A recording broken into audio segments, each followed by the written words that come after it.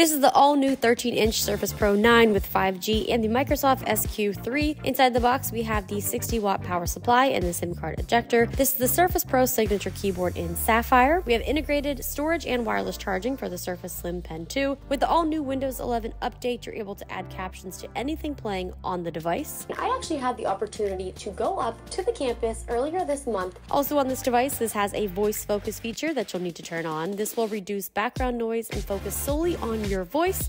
Here's an example of that with loud background noise playing. Hey guys, I'm just testing out the all-new Surface Pro 9. This is the 5G. Hey guys, we're testing out the all-new Surface Pro 9 5G with the Qualcomm SQ3. There are also new features such as automatic framing, eye contact, and portrait background blur to upgrade face-to-face calls without slowdowns. So this is the all-new Surface Pro 9 with 5G. What do you think?